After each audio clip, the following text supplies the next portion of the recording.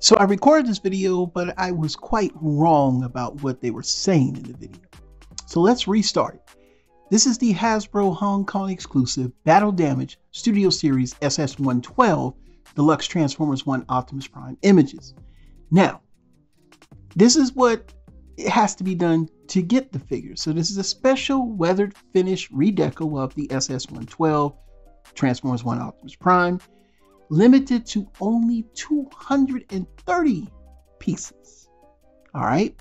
So if you spend like a certain amount at this Hong Kong Fan Expo, then you're supposed to be able to get this. So basically, available during the upcoming event for purchases of more than HKD 3000, whatever that is, or Hong Kong dollars 3000, which is about $384.29 USD in transformer products.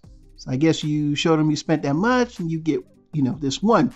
Now limited to 230, that is very limited and not a lot of people are going to be able to get this, especially here in the States. So keep that in mind. Um, there's also some other products if you spend like $800 HKD, which would be 102 bucks, you can get a 40th anniversary Transformers coin and collectible card. Uh, purchases over HKD 500, about $64 in Transformer products, you can get it, and it's limited to 240 units. So they're all got some rare stuff here, but this, let's look at the original, okay? That's the original. Now we're going to look at the weathered version.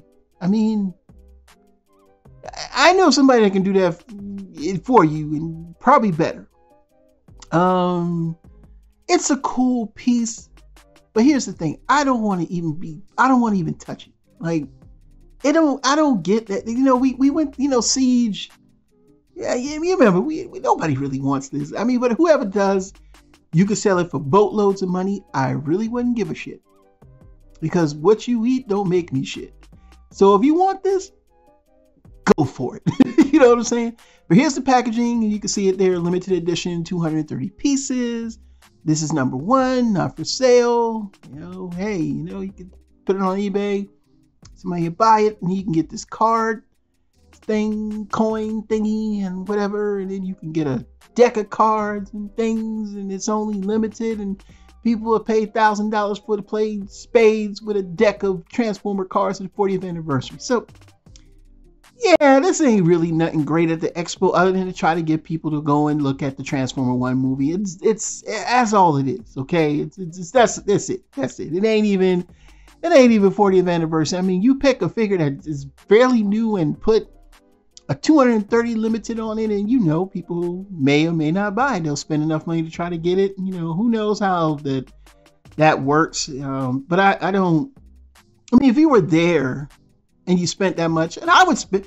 I mean, that's one item. If if I buy a Soul Chogokin, you know what I'm saying? That's pretty much 400 bucks. So I mean, yeah, I could I could drop that easy. But the point is, I just it just it's one of those things where this ain't it, man. you know what I'm saying? It's not a bad figure, but this just ain't it. so what are your thoughts? Leave me down in the comments below. This is just a cash grab to get people to look at Transformers 1. That's all it is. So tell me your thoughts. Super Robot Ed, bringing more news reviews to them. We'll see you soon. Bye-bye.